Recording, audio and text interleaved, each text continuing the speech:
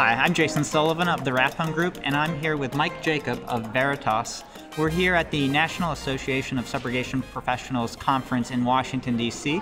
Thanks for joining us, Mike. Thanks for having me, Jason. So today we wanted to talk about what can adjusters do when they're on the scene of a loss to help increase the likelihood of recovery on a subrogation claim. That's a good question. So adjusters are the front line when it comes to subrogation, and especially if you're sending the evidence off to an expert where the expert doesn't come on site. Say you've got a smaller claim or it's a specialized matter where you need an in-depth expert the adjuster is really the only one that can get that information from the loss site. And without that information recovered at the time of the loss, it may not be available in the future. So the adjuster's role is critical. What are some of the things that they can do to preserve what they're seeing at the scene? So adjusters are great at adjusting claims, but a lot of times they're not thinking with a subro state of mind, if sure. you will. So adjusters should take at least two minutes, and that's all it really takes to take photographs that are re- related to the loss itself.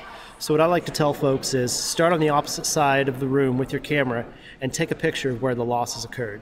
Then take two steps towards it, take two more pictures until you're up until to where the, the, the actual failure has happened. So document that area and then look for marks on the pipes or the fittings or the things around it.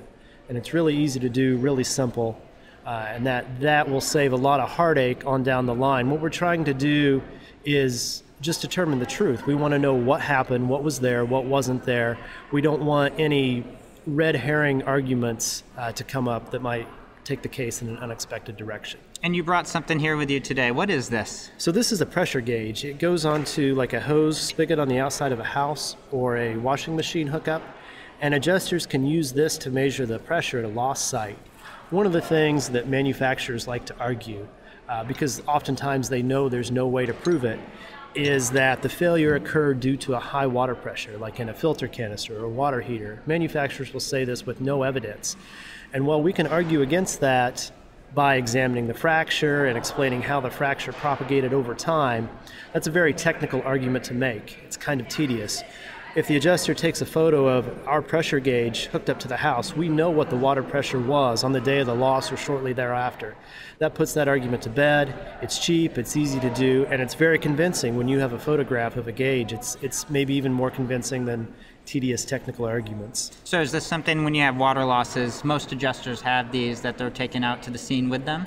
Uh, the adjusters that we've trained do. So, when we train adjusters, we give them this gauge, we give them a few other tools. I'm sure other firms do the same, uh, but it's, it's, it's really handy and it's really effective. And you have a busy week while you're here at the conference. You're also presenting. Can you tell us a little bit what your topic is? Yeah, our, our topic is understanding engineering principles using food. We go through some of the common failure mechanisms and we show people what happened using like taffy, stretching the taffy to where it breaks, or using hard candy to illustrate brittle fractures, and we talk about how material forms. Uh, subrogation adjusters and attorneys, they need to be able to have at least a basic knowledge of the failure mechanisms they're trying to use to articulate their position. And we found that hands-on is the best way to explain anything. So, so we hope that that experience is shared with them and that they're able to take it back to the office use the information from the site and the hands-on experience here at NASP to better articulate their position. Right, and all of it to lead to greater recoveries after is a loss that you pay out for. Again, I'm Jason Sullivan of Rathbone Group, again joined by Mike Jacob of Veritas Engineering Group. We're at the National Association of Subrogation Professionals Conference, and that's the long and short of it.